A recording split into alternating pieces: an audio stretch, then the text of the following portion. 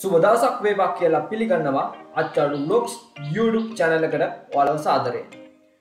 මුහුදුබඩ දුම්රිය මාර්ගයේ ගමන් කිරීමේදී ඔබට හමුවන සංචාර්ක ස්ථාන කියන වීඩියෝ පෙළේ දෙවන කොටස් තමා අද අපි නරබන්න යන්නේ.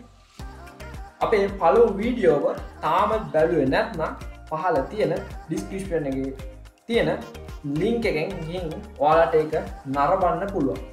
අපි එනම් කෙලින්ම යමු අපේ වීඩියකට.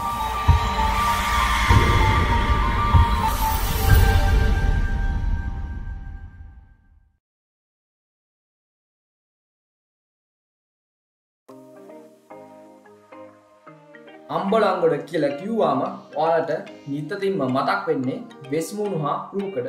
ඉතින් මේ වෙස්මුණු හා රූකඩ වගේම පැරණි ලන්දේසි උසාවියේ නටකුන් බැලීමටත් ඔබට මේ සංචාරයදී ඔබට හැකියාව ලැබෙනවා.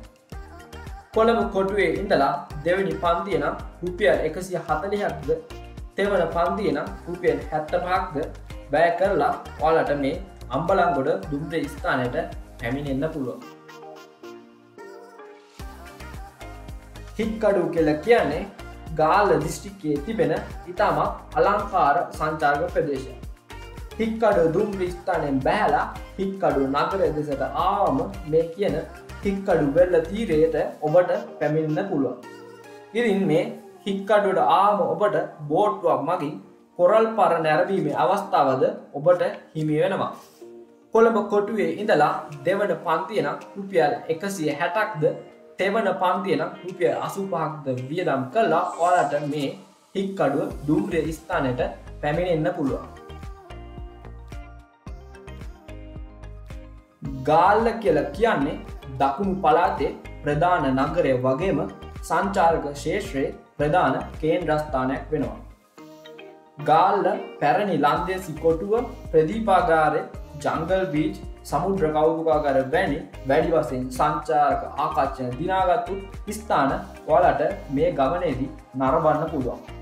ඉතින් කලින් කිව්ව ගාලු කොටු පවුරට නැක්ගාම ඔයාලට මුළු ගාලු නගරේ බොහෝ ස්ථාන ඉතාමක් හොඳින් නරබන්න පුළුවන්. කොළඹ කොටුවේ ඉඳලා දෙවනි පන්තියන රුපියල් එකසිය අසුවක්ද තෙවනි පන්තියන රුපියල් සීයක්ද වැෑ කරලා ඔයාලට මේ ගාල්ල දුම්්‍ර ස්ථානයට ළඟා වෙන්න පුළුවන්.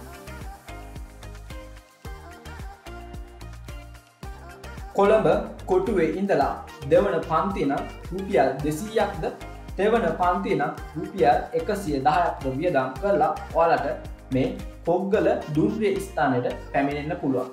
ඉරින් මේ දුම්්‍රිය ස්ථානය බැහලා ඔලට යන්න පුළුවන් ප්‍රධානම ස්ථානයක් තමා කොග්ගල මාටින් වික්‍රමසිංහ කෞතුගාගරය හා මාටි වික්‍රම සිංහයන්ගේ වාසය කළ නිවස. ඒ වගේම මඩොල් දුවේ කතාවේ එන මඩොල් දුවටත් ඕලට ගමන් කන්න පුළුවන්. මේ කොග්ගල තාත් විශේෂක්තයක් තියෙනවා කවුරනි දන්න කෙනෙක් ඉන්නවන මේක ඒ කමෙන් ෆෙක්ෂන් එක සඳහන් කරන්න කියලා අපි ඉල්ලා සින්නවා.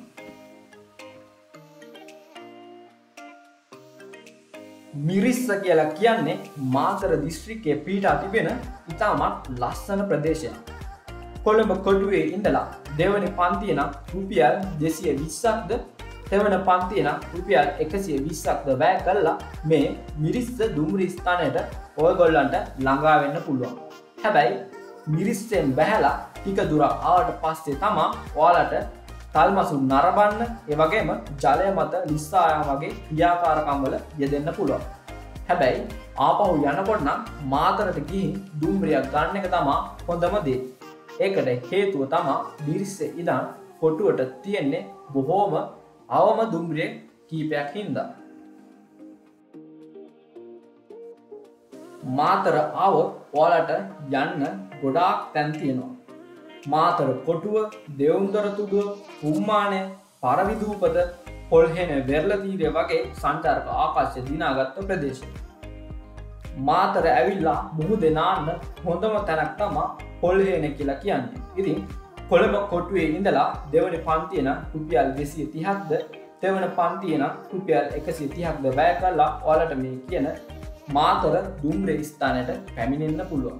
හරි එනම් මෙවැනිම තවත් වීඩියෝ පෙලක් ඇරගෙන අපි ආයත හමුවෙන්න එතකම් ඔයාලට හැමෝටම ජයවේවා